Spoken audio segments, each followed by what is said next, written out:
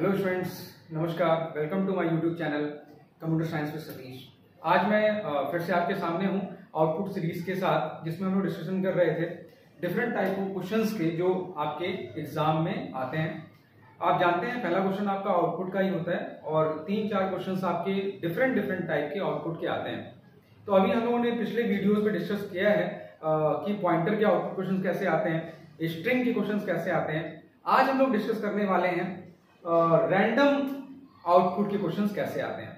तो random function का use करके किस तरह के क्वेश्चंस आपसे पूछे जाते हैं आउटपुट में, आज कोशिश करेंगे उस क्वेश्चंस को आसानी से सॉल्व करने का। तो फटाफट उसका हम लोग मतलब समझ लेते हैं और उसके बाद कुछ क्वेश्चंस को सॉल्व करके हम लोग देखेंगे कि किस तरह से आसानी से आप भी रैंडम के क्वेश्चंस को बना सकते हैं। तो सबसे पहले रैंडम फ़ंक्शन काम कैसे करता है? बहुत ही ईजी है, ये जान लीजिए पहले। जैसा कि सामने आप लिखा हुआ देख रहे हैं रैंडम एन यानी ये रैंडम फ़ंक्शन को एक आर्गुमेंट चाहिए होता है, कोई नंबर जैसे ही आप इसको नंबर प्रोवाइड करते हैं it will generate any number between zero to N minus one randomly for example random ten यानी हमने टेन प्रोवाइड किया यहाँ पे तो क्या करेगा? It will generate any number between zero to nine ten था, हमने कहा एन माइनस वन यानी एक कम तो ज़ीरो टू नाइन यानी टेन से एक कम नाइन तो ज़ीरो से लेके नाइन तक कोई भी एक नंबर जनरेट कर सकता है। अगर यहाँ पे हम लोग रैंडम हंड्रेड दे देंगे तो ज़ीरो से नाइनटी नाइन रैंडम फिफ्टी दे देंगे तो ज़ीरो से लेके फोर्टी नाइन तो ये आपका बेसिक कॉन्सेप्ट है रैंडम फ़ंक्शन का, जो कि काम करता है। कोई भी नंबर प्रोवाइड करने पे zero to N minus one तक नंबर जनरेट करता है। कई बार क्वेश्चन आपसे पूछा जाता है, एक नंबर क्वेश्चन दो पार्ट आपके जगह दो नंबर क्वेश्चन है तो वो दो पार्ट में रहता है। पहला पार्ट होता है कि आपको मिनिमम और मैक्सिमम वैल्यू बताना है। जैसे लिखा हुआ है, x equal to random x equal to random ten आपसे पूछता है कि x की मिनिमम और मैक्सिमम वैल्यू क्या हो सकती है। तो अब सब बात है ज़ीरो से लेके नाइन तक हो सकता है। अगर आपके पास लिखा है random ten plus ten random ten plus ten X equal to random ten plus ten अब मिनिमम और मैक्सिमम वैल्यू क्या हो सकती है? तो ऑब्वियस बात है मिनिमम वैल्यू ये क्या हो सकता है? ज़ीरो से लेके नाइन तक, यानी ज़ीरो से नाइन तक हो सकता है, और प्लस क्या होगा? टेन तो अगर ज़ीरो होगा तो टेन प्लस हो जाएगा। तो कितना हो जाएगा? टेन और मैक्सिमम वैल्यू क्या हो सकती है? टेन प्लस नाइन यानी टेन से लेके नाइनटीन तक. तो ये टेन इसका मिनिमम वैल्यू हो गया, और ये 19 इसका मैक्सिमम वैल्यू हो गया। तो ये तो बेसिक कॉन्सेप्ट है आपके रैंडम फ़ंक्शन का। अब हम लोग आगे कुछ एग्जांपल्स को सॉल्व करके देख लेते हैं कि कैसे क्वेश्चंस आपके इसमें आते हैं। सो स्टूडेंट्स क्वेश्चन आपके सामने है। Study the following program and select the correct options question ध्यान से पढ़िएगा। Const I N T min equal to twenty five तो देखिए हमने लिख लिया मीन की वैल्यू ट्वेंटी फाइव जो कि कांस्टेंट वैल्यू है वाइड मेन शुरू हुआ randomize I N T score equal to ten यानी स्कोर की वैल्यू क्या है? टेन है। ये भी हमने यहाँ लिख लिया स्कोर इक्वल टू टेन एक नम वैल्यू बना लिया गया। For I N T I equal to one I less than four तो आप देख पा रहे हैं आई वन से शुरू हो रहा है और less than equal to four यानी फोर टाइम्स चलेगा वन टू थ्री फोर नीचे आते हैं। Num equal to min plus random score तो रैंडम स्कोर के अंदर जो कुछ भी होगा, वो ज़ीरो से लेके स्कोर माइनस वन तक चलेगा। तो देखिए, यहाँ पे हमने नम की वैल्यू क्या होगी? यहाँ पे हमने एक छोटा सा टेबल बना लिया है। आप भी इस तरह से बना लीजिएगा तो आपको आसानी हो जाएगा। हमने क्या किया? आई की वैल्यू देखिए, चार बार एक्सक्लूड होगा। तो हमने वन टू थ्री फोर यहाँ पे लिख लिया। और नम की वैल्यू फ़र्स्ट टाइम के लिए क्या होगी? तो नम की वैल्यू फ़र्स्ट टाइम के लिए होगी मिन प्लस रैंडम स्कोर तो मिन की वैल्यू देखिए यहाँ पे 25 है तो यहाँ लिख दीजिए 25 प्लस रैंडम स्कोर की क्या वैल्यू हो सकती है? देख लीजिए तो स्कोर की वैल्यू है 10 यानी 0 टू 9 तो यानी प्लस कहाँ से कहाँ तक? 0 टू 9 ठीक है? यहाँ लिख दिया मैंने यहाँ पे रैंडम ज़ीरो टू नाइन तक आएगा। और यहाँ ट्वेंटी फाइव तो यहाँ आप देखिए रेंज ऑफ़ नम यानी नम क्या हो सकता है यहाँ पे? लिखा हुआ है num equal to min plus random score तो नम की वैल्यू पॉसिबिलिटी क्या है? नम कहाँ से कहाँ तक हो सकता है? नम का रेंज क्या हो सकता है? तो नम का रेंज होगा 25 प्लस ज़ीरो यानी 25 से लेके कहाँ तक? 25 प्लस 9 तक, यानी 34 तक। तो 25 से लेके 34 तक। फ़र्स्ट टाइम जब आई की वैल्यू है तो इसका रेंज हो सकता है। चलिए, आगे बढ़ते हैं। सी आउट नम तो यानी पहली बार जो सी आउट होगा वो कहाँ से कहाँ तक हो सकता है? 25 से लेके 34 तक सी आउट हो सकता है। ठीक है? और फिर उसके बाद कोलन लग जाएगा। तो हम यहाँ पे लिख देते हैं, यहाँ पे। देखिए, पहली बार जो होगा, वो क्या हो सकता है? 25 से लेके 34 तक। 25 से 34 तक और कोलन लग जाएगा। पहली वैल्यू। उसके बाद स्कोर माइनस माइनस हो गया। स्कोर की वैल्यू क्या हो जाएगी देखिए? टेन से हो गया ये नाइन हो गया। अब देखिए यहाँ पे ऊपर जाएँगे आई की वैल्यू टू हो जाएगी, नीचे आएँगे नम की वैल्यू यानी दूसरे इटरेशन में क्या होगा?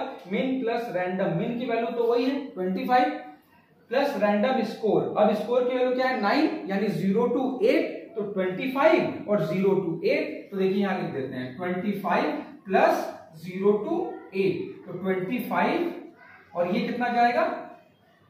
25 प्लस एट थर्टी थ्री तो रेंज क्या हो गया? 25 से 33 तो जो सेकेंड वैल्यू प्रिंट होगी वो क्या होगा?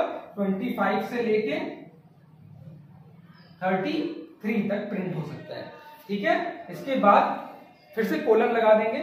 ध्यान रखिएगा कहीं भी कोलन स्लैश एन कॉमा अगर है आपके आउटपुट वाले क्वेश्चंस में तो हर बात के लिए वहाँ पे मार्क्स मिलते हैं। तो आप बहुत ध्यान से इन सब चीज़ों का ध्यान रखेंगे ताकि आप सही जगह पे लगा पाए।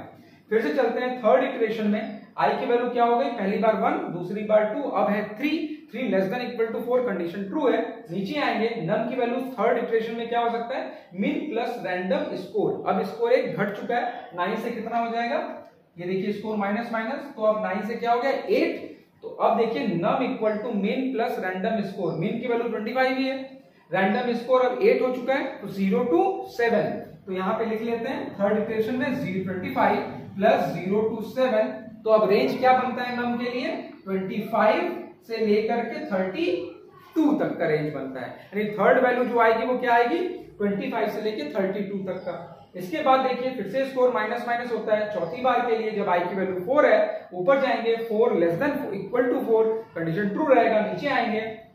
यहाँ पे सेवन हो चुका है स्कोर तो अब num equal to min plus random कितना हो जाएगा? मिन की वैल्यू ट्वेंटी फाइव और रैंडम की वैल्यू स्कोर की वैल्यू सेवन है। यानी ज़ीरो टू सिक्स तक जाएगा, यानी twenty five plus zero to six यानी ट्वेंटी फाइव से लेके थर्टी वन तक, यानी चौथी वैल्यू जो होगी वो हमारी कहाँ से कहाँ तक होगी? ट्वेंटी फाइव से लेके थर्टी वन तक। तो बस, अब इसके बाद हम यहाँ देखिए प्रोग्राम खत्म हो रहा है। फाइव होने के बाद और हम बाहर आ जाएँगे और हमारा ये पॉसिबल आउटपुट आपके सामने है, जो कि रेंज एक नम का हो सकता है। तो अब आप देख सकते हैं यहाँ पे आउटपुट आपका, यहाँ पे रैंडम में एक या एक से अधिक आउटपुट आ सकते हैं। क्या क्या पॉसिबल आउटपुट है, उसको आपको करेक्ट करना होता है। एक भी हो सकता है, एक से अधिक भी हो सकता है। तो आप चेक कर लीजिए अब निकलने के बाद पॉसिबल आउटपुट आपके सामने। चलिए चेक करते हैं। कैसे चेक करना है? देखिए, आपके सामने आउटपुट अवेलेबल है। पहला 34 34 हो सकता है क्या पहला? तो देखिए 25 से लेके 34 का रेंज हो सकता है, यानी करेक्ट है।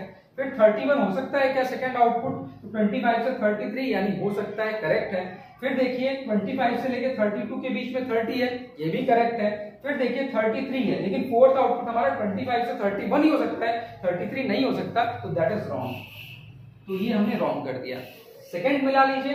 क्या 29 हो सकता है? 25 से 34 के बीच की वैल्यू है। करेक्ट है। सेकंड वैल्यू 25 से 33 करेक्ट है। 25 से 32 के बीच करेक्ट है। 25 से 31 के बीच 31 करेक्ट है। यानी सेकंड आउटपुट आपका करेक्ट है। इसके बाद थर्ड मिला लेते हैं। पहला वैल्यू 34 है। 25 से 34 करेक्ट है। सेकंड 31 है। 25 से 33 31 है यहाँ पे करेक्ट है। 25 से 32 30 है करेक्ट है. 25 से 31 31 है, यानी ये भी करेक्ट आउटपुट है. इसके बाद लास्ट मिला लीजिए 34 25 से 34 करेक्ट है. 25 से 33 करेक्ट है. 25 से 32 करेक्ट है. और 25 से 31 33 है. तो दिस इज़ इनकरेक्ट आंसर तो इस तरह से आपके ये दो आउटपुट करेक्ट है. तो फिर से एक बार इसको आप बनाइएगा और इस तरह से रन करा के देखिएगा। उम्मीद है आपको समझ में आता है। चलिए, अब देखते हैं अपना नेक्स्ट एक और क्वेश्चन नेक्स्ट क्वेश्चन आपके सामने है। Find the correct possible outputs यानी एक या एक से अधिक आउटपुट आपको इसमें से निकालना है, सामने वाले प्रोग्राम में से। प्रोग्राम है वर्ड में randomize char city two D array यहाँ यूज़ हुआ है, जिसकी वैल्यू है del Chennai C H N C K O L B O M और बी एन जी ये इसकी वैल्यू है। तो अगर ये मान लें ज़ीरो का वन ज़ीरो का टू ज़ीरो का थ्री ज़ीरो का फोर ज़ीरो का फाइव भी अगर मान लें, यानी पाँच एलिमेंट तो यहाँ पे मैंने लिख दिया है आपके सुविधा के लिए। ज़ीरो पर डेल हो गया वन पर सी एच एन हो गया टू पर कोल हो गया बी पर बॉम्बे और फोर पर बी एन जी हो गया। ठीक है? इसके बाद आगे बढ़ते हैं हम लोग। आई एन टी फ्लाई एक वेरिएबल है फ्लाई जिसको हम लोग यहाँ पे लिखे हुए हैं। फॉर लूप चालू करते हैं. For I N T I equal to zero I less than three condition true है. ध्यान से देखिए आई की वैल्यू ज़ीरो है आई लेस देन थ्री तक लूप चलेगा, यानी ज़ीरो वन टू यानी कि तीन बार ये लूप चलेगा. मैंने यहाँ पे इटरेशन लिख दिया आई की वैल्यू ज़ीरो वन और टू के लिए क्या होगा? इस फ्लाई की वैल्यू तो आगे देखिए, क्या लिखा है? Fly equal to random two plus one तो पहले इटरेशन के लिए फ्लाई की वैल्यू क्या होगी रैंडम टू प्लस वन तो रैंडम टू क्या जनरेट करेगा? ज़ीरो से साइज़ माइनस वन यानी ज़ीरो से two minus one two minus one मतलब वन यानी ज़ीरो और वन में से कुछ जनरेट हो सकता है इसकी जगह पहले इटरेशन में। तो देखिए मैंने यहाँ लिख दिया ज़ीरो से लेके वन के बीच की कोई वैल्यू जनरेट हो सकती है। और प्लस आई आई की वैल्यू पहली बार में क्या है? ज़ीरो तो ज़ीरो से लेके वन प्लस ज़ीरो तो रेंज क्या बन के आता है? ज़ीरो प्लस ज़ीरो ज़ीरो और ज़ीरो प्लस वन वन यानी कि ज़ीरो और वन ये रेंज बन आता है फ्लाई का पहली बार। ठीक है? तो यहाँ पे जाएँगे सी आउट सिटी फ्लाई तो सिटी फ्लाई का मतलब क्या हो गया? सिटी का ज़ीरो या सिटी का वन तो ज़ीरो या वन तो ज़ीरो पे क्या है? डेल और वन पे क्या है? सी एच एन तो पहला आउटपुट क्या हो सकता है? डीई एल e या सी एच एन तो यहाँ हम लिख लेते हैं। D E L oblique C H N पहला आउटपुट हो सकता है और इसके बाद देखिए कोलन है तो यहाँ हम लोग कोलन लगा देते हैं। नेक्स्ट टाइम जब जाएँगे आई की वैल्यू वन हो जाएगी। यहाँ आएँगे। यहाँ पे मैंने आई की वैल्यू वन लिख दिया है। यहाँ पे देखिए रैंडम टू फिर वही ज़ीरो या वन ही रहेगा, लेकिन अब आई की वैल्यू क्या हो चुकी है? वन हो चुकी है। तो देखिए मैंने लिख दिया यहाँ पे ज़ीरो से लेके वन तक जनरेट होगा रैंडम टू की वजह से, और वन आई की वैल्यू तो अब मिनिमम मैक्सिमम वैल्यू क्या हो जाएगा? वन प्लस ज़ीरो ये मिनिमम हो गया तो वन लिख दिया, और वन प्लस वन मैक्सिमम हो गया तो टू लिख दिया, यानी वन से लेके टू ये वैल्यू हो सकता है किसका? फ्लाई का। तो सी आउट सिटी फ्लाई तो फ्लाई की वैल्यू या तो वन होगी, या तो टू होगी। तो वन और टू में क्या है? सी एच एल या कोलकाता। तो C out city fly one और टू तो ये सी एच एल या कोलकाता हो सकता है, यहाँ लिख देते हैं। C H L oblique Kolkata. तो दूसरा आउटपुट मिल गया इस तरह से हमें। इन दोनों में से कुछ भी हो सकता है वो। अब इसके बाद हम चलते हैं तीसरे इटरेशन के लिए। अब टू हो जाएगा आई की वैल्यू पहली बार ज़ीरो फिर वन अब two two less than three true है, नीचे आते हैं fly equal to random two random two की वैल्यू फिर से ज़ीरो और वन ही होगी। और इसकी वैल्यू आई की वैल्यू टू है तो मिनिमम मैक्सिमम वैल्यू क्या हो जाएगा? टू या थ्री तो ये दो वैल्यू हो सकती है। तो सी आउट क्या होगा? सिटी फ्लाई फ्लाई की वैल्यू क्या हो सकती है? टू या थ्री तो टू या थ्री होगा अगर तो या क्या वैल्यू हो सकती है हमारी? कोलकाता या बॉम्बे तो तीसरा वैल्यू कोलन के बाद क्या आ सकता है हमारा?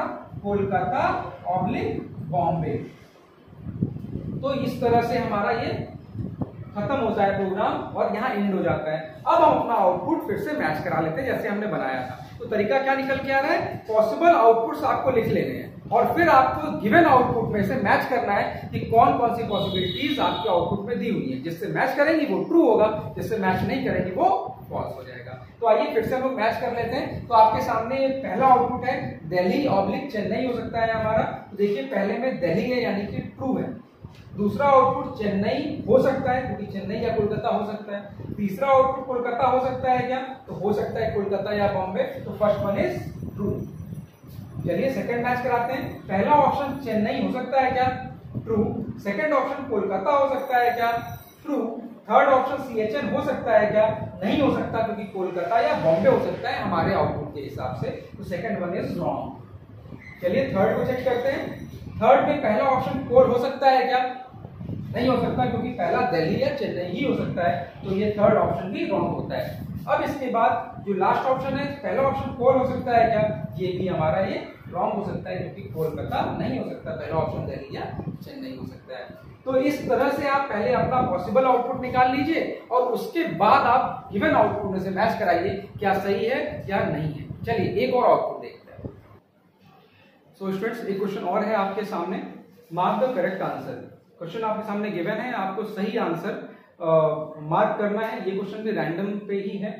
पहला देख लीजिए, ध्यान से क्वेश्चन को I N T num R N D num एक वेरिएबल है। Num equal to seven num की वैल्यू क्या है? सेवन एक नॉर्मल वेरिएबल है। मैंने यहाँ पे नम इक्वल टू सेवन लिख दिया है।